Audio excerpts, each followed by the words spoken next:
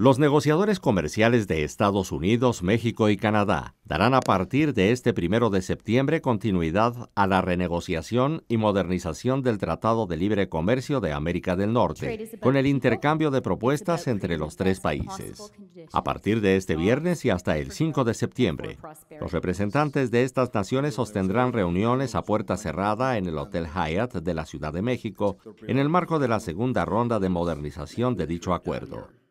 luego de que el pasado 20 de agosto concluyó la primera intervención en Washington, Estados Unidos, donde se abordaron temas relacionados con soluciones comerciales para antidoping y subsidios, transparencia, anticorrupción, protección de la propiedad intelectual, servicios financieros e inversión, además del comercio transfronterizo de personas, comercio digital, telecomunicaciones, buenas prácticas regulatorias y entrada temporal de personas.